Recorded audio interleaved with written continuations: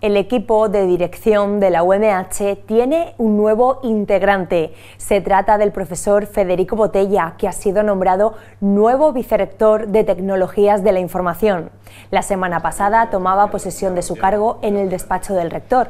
A la cita acudieron varios vicerrectores, la secretaria general y la gerente, que quisieron dar la bienvenida a su nuevo compañero.